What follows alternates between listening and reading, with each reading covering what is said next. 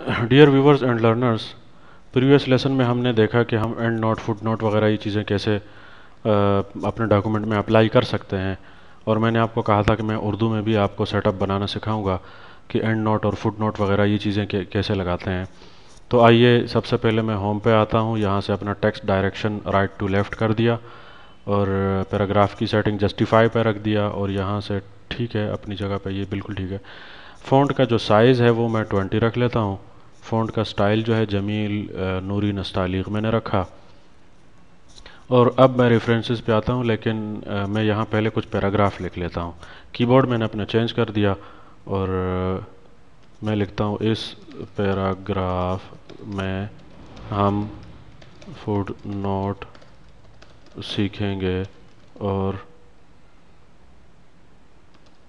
And अच्छा and note भी apply करेंगे, ठीक है?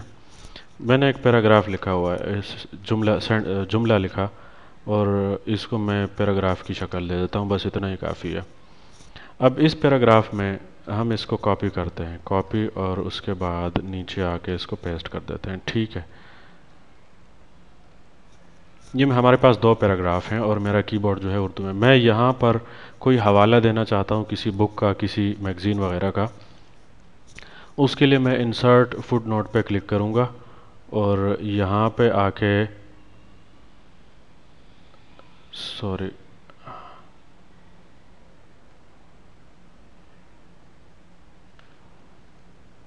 सॉरी मैं यहाँ आता हूँ फुट नोट पर ठीक है।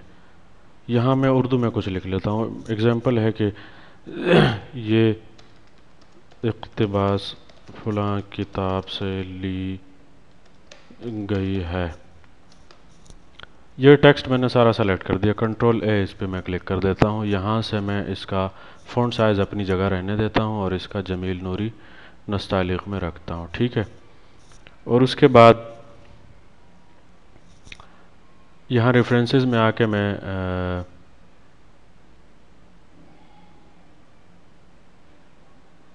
पेज लेआउट पे होता है या कहाँ होता है? हाइफिनेशन इसमें एक ऑप्शन होता है यहाँ राइट क्लिक करते हैं शायद। उसमें आ जाए। Look convert to endnote go to footnote style पर नहीं यहाँ पे ऑप्शन नहीं है। ये जो लाइन है इस लाइन को आ, राइट साइड पे कन्वर्ट करते हैं। तो ज़रा हम ढूंढ लेते हैं कि वो क्या तो मैंने फुट नोट जो है वो हटा दिया था। अब दोबारा लगा लेते हैं। बीच में से मैंने वीडियो पास की थी कुछ वजूहत की बिना पर। अच्छा यहाँ हम उर्दू में फुट नोट अप्लाई करना चाहते हैं तो मैं रेफरेंसेस में आता हूँ और इंसर्ट फुट नोट या कंट्रोल आल्टर एफ़ प्रेस करता हूँ और जैसे ही फुट नोट आ जाए, चाहे आप लिख लें या ना लिखें लिखें, बाद में लिख लें, कोई बात नहीं। मैं यहाँ आता हूँ, देखें, बिल्कुल डॉक्यूमेंट के राइट साइड पे। आप अगर नीचे देखेंगे ड्राफ्ट के नाम से, ये एक लिखा है प्रिंट लेआउट उसके बाद होता है फुल स्क्रीन और वेब लेआउट होता है, फिर आउटलाइन होता है और फिर ड्राफ्ट होता है। ठीक है?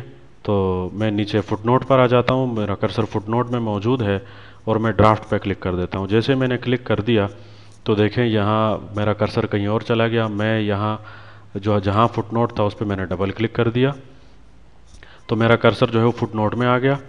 तो मैं ये करता हूँ कि मैं फुट नोट को बिल्कुल राइट साइड पे लगाना चाहता हूँ। तो ये देखें, यहाँ पर आपको दिखाई देगा all foot notes foot note के बारे में कुछ ऑप्शन है। फुट नोट सेपरेटर तो सिर्फ़ सेपरेटर जो है, वो जो ऊपर लाइन होती है, वो मैंने राइट साइड पे नहीं लगानी, बल्कि मैंने तो फुट नोट को भी साइड पे लगाना है राइट साइड पे।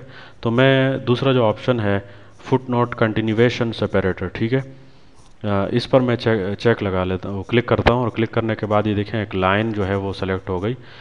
लाइन आ गई सामने। मैंने कंट्रोल ए प्रेस किया तो यहाँ जो कुछ था सब सेलेक्ट हो गया।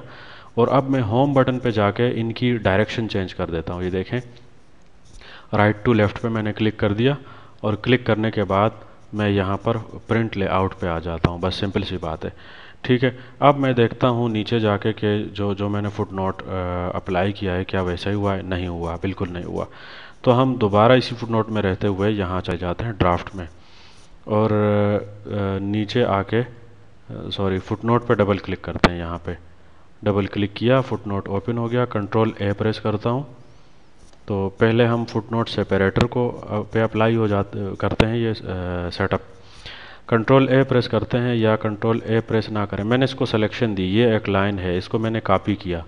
मैं कंट्रोल वी प्रेस कर रहा हूँ ताकि मेरे पास लाइन थोड़ी सी लंबी हो। फिर मैं कंट्रोल ए प्रेस करता हूँ और इसकी डायरेक्शन में चेंज कर देता हूँ। बस इतनी सी बात है, ठीक है, हो गया। डायरेक्शन चेंज हो गई इसकी। और उसके बाद मैं लेआउट प्रिंट लेआउट पे आ जाता हूँ, ठीक है। अब ज़रा हम देखते हैं कि क्या ये अप्लाई हो गया कि नहीं। तो ये देखिए, आपका फुटनोट जो है लाइन तो राइट साइड पे आ गई है, लेकिन टेक्स्ट अभी तक लेफ़्ट साइड पे है तो वो बिल्कुल सिंपल है। यहाँ से डायरेक्शन टेक्स्ट की चेंज कर दें, ठीक है? ये बिल्कुल ठीक हो गया। अब मैं यहाँ लिखता हूँ कि ये